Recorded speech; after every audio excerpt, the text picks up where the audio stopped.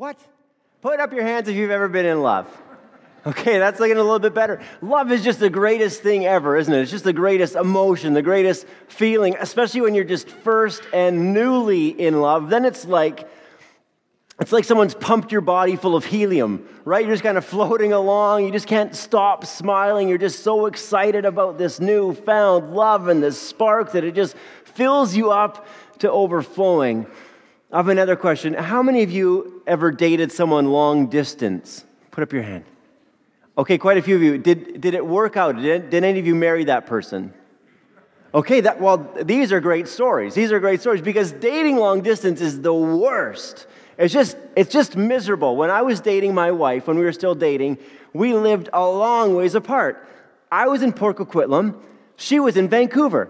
It was just dreadful. It was just dreadful, that distance between us.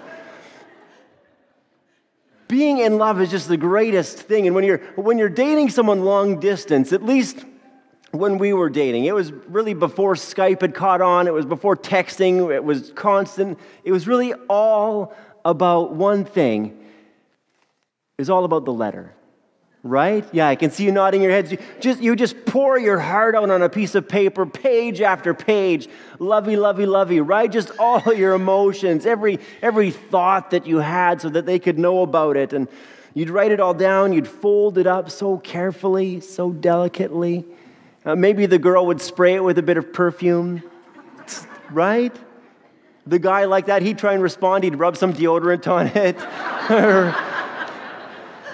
And so then, then on the other end, that person's just waiting so desperately for that letter. They don't want to miss it, so they're checking the mailbox a few times a day. They know the postman by name. Any letters for me today? They're just so excited about it. They just don't want to miss getting that letter. When they finally get it, they take it home. They rip it open right away as soon as they get there.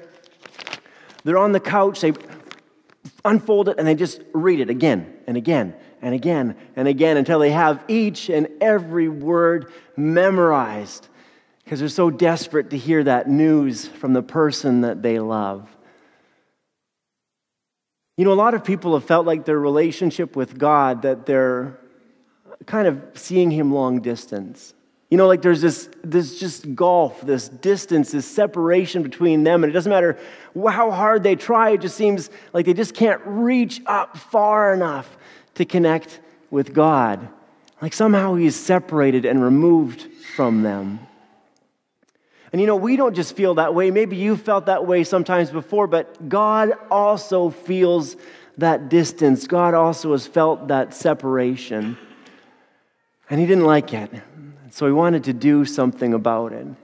And so God sent uh, people with his messages, words of love and care and concern. We call them prophets. They came and spoke God's word to them, and people wrote it down, wrote down what they said. And uh, we have that recorded for us in the Bible. I, I often think of the Bible as God's love letter to the word, expressing his heart and care and concern for his people.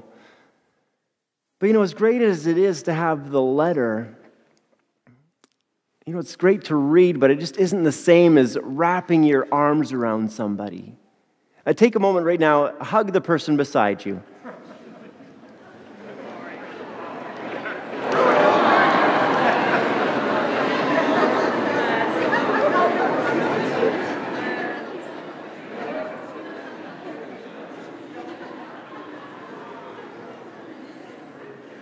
If you just hugged a stranger, good for you.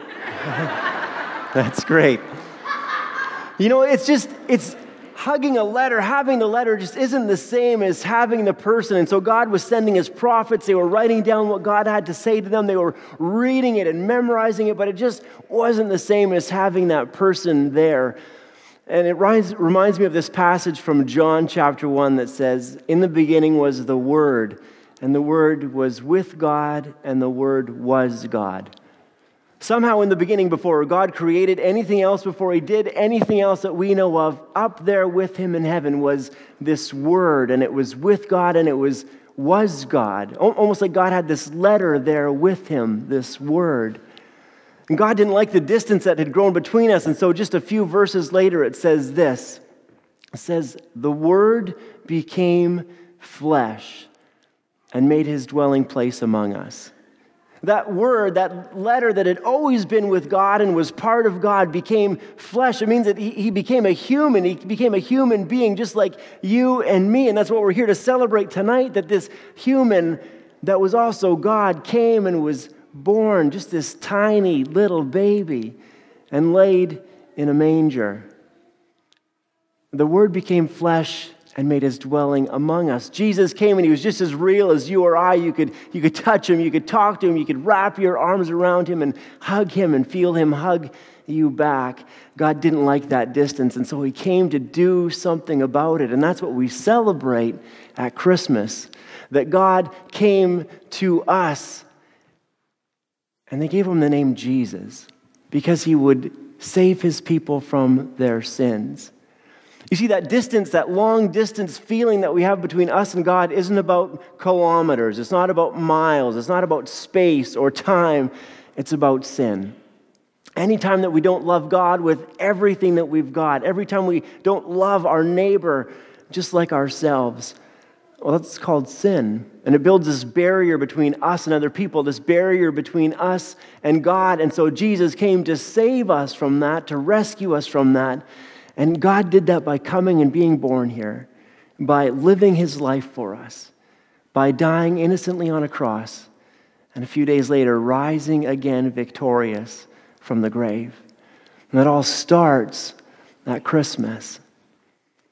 And what I've been wondering about this year, the past month or six weeks or so, I've really been wondering about, about that innkeeper right? We read about there was no room for them in the inn. When you read that, don't think about the days inn, right? Or the holiday inn. We're not talking about hundreds of rooms with elevators and phoning to make a reservation. We're probably talking about a guy with a couple spare rooms in his house.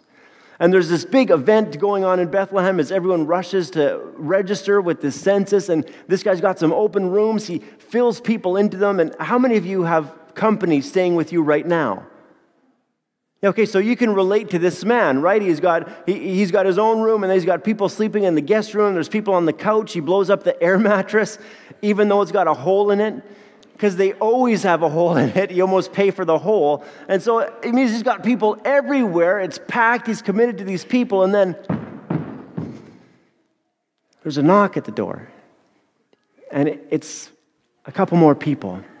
It's this young man, Mary, uh, Joseph, and his very pregnant wife, Mary. And this innkeeper, what is he supposed to do? He's already committed to all these other people that are already moved into his rooms, his place. But what can he do with this young couple that's so desperately in need? He has no more room in his house, but he says, You can stay with my animals, where my animals stay. And so that's what happens. And, and what I've really been just trying to sort out this year is did the innkeeper see what was happening or did he miss it? Is it possible that the innkeeper heard the angels or noticed these shepherds trooping onto his property? Is it possible that he heard that the baby had been born and went in and, and picked up and even held baby Jesus in his own hands? Or did he miss it? Is it possible that all those things happen? Angels singing, shepherds marching in, God being born right there in his own manger, and did he miss it? Not because he was a bad guy, just because he's busy, right? He's got all these people there. He's trying to sort out these people. He's trying to get food prepared for them. He's trying to get, you know, water for them, blankets, all those things. And it reminds me so much of us.